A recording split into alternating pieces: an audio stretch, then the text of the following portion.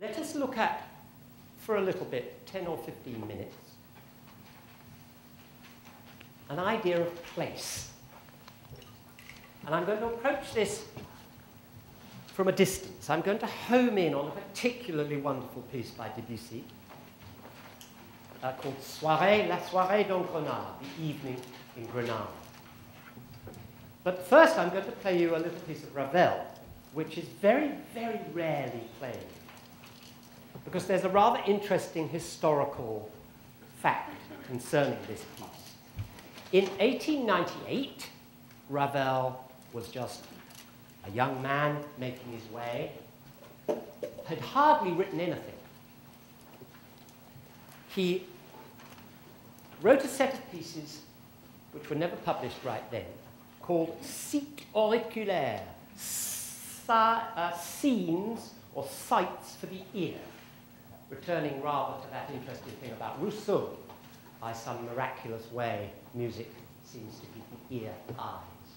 I wonder if that was on Ravel's mind when he wrote Sites auriculaires, scenes for the ear. One of the, piece, one of the pieces was about bells, called Entre cloches, bells, between bells, not a very good translation. Uh, and the other piece was a, a little piece called Habanera, a Spanish piece. Debussy was in the audience, and he was absolutely fascinated by this Spanish piece. And he asked Ravel if he could borrow the manuscript.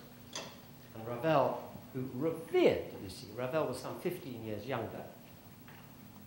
And Debussy was not that well known at this time, but well known enough. He had written L'Après-midi de Faune, Afternoon of the. He was the up and coming.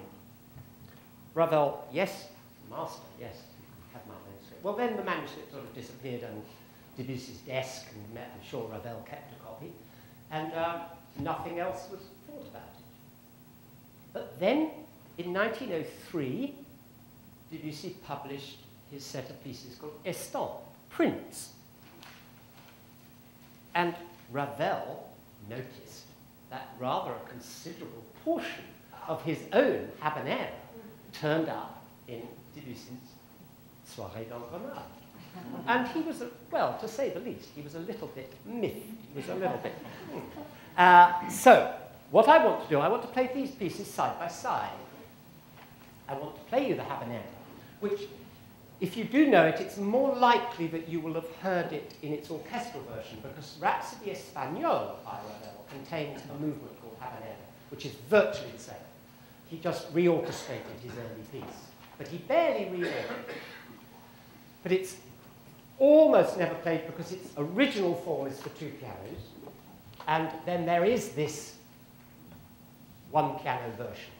Whether it's his, I don't know, but I found my copy in the Maurice Hinson selected Ravel, which is very interesting. It's the only place I've been able to find it. So habanera. So we know what the habanera rhythm is, don't we? Famous by Bizet. We can all sing part of Company. so this is... this isn't quite as good as that.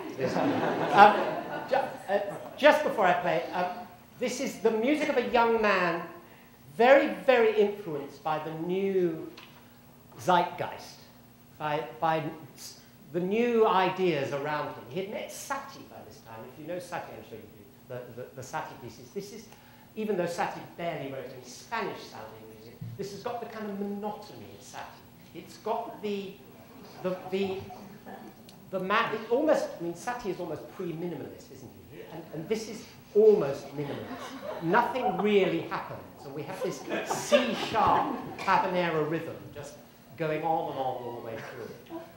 And of course, fascinatingly, uh, this piece, it's no accident that the composer of Bolero wrote this piece.